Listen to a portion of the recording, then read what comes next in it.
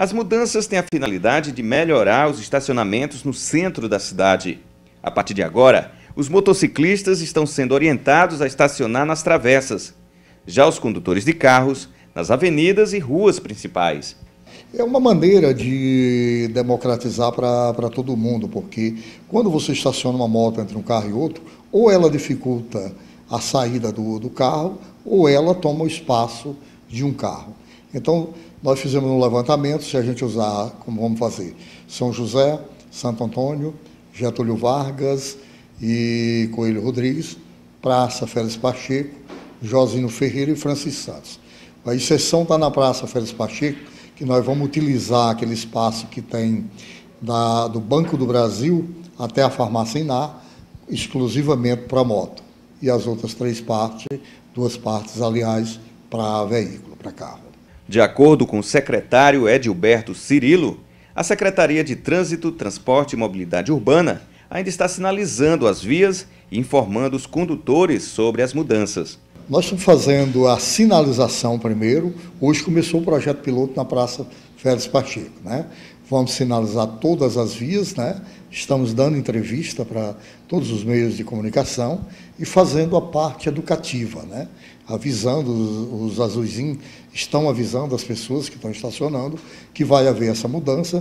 Nós já fizemos aqui nessa travessa do Banco Nordeste e de Almissar, é, as 60 dias atrás, elas duas já são só estacionamento de moto. E deu certo. Então é em cima disso que nós queremos fazer esse projeto. Tirar, separar carro de moto para assim haver essa melhora no estacionamento. Outro desafio da pasta tem sido manter os semáforos funcionando. As constantes oscilações de energia têm danificado os aparelhos. Ali na, na, na ponte Raimundo Duarte nós temos três tipos de sinais. Quem vem prefeitura via Rua São Francisco para entrar na Raimundo Duarte, ele é um sinal antigo. Quem vai daqui do centro, é, pela Rua 3 de Maio, ele é um sinal novo já digital. Sinal novo digital, na hora que dá qualquer problema, a gente tem as peças de reposição e fazemos na hora. Então ele não tem nos causado problema. No entanto, esses antigos, é, da, da gestão antiga ainda, e o fabricante da, da, das placas é o próprio, era a própria empresa que dava manutenção aos sinais. Então, por isso a dificuldade em comprar, mas nós já localizamos em São Paulo essas placas, já pedimos, né? E esperamos chegar a qualquer momento para instalar, tanto lá como também ali na feira e no Colégio das Irmãs. São os três sinais mais antigos que hoje a gente está tendo esse problema. Os demais são digitais.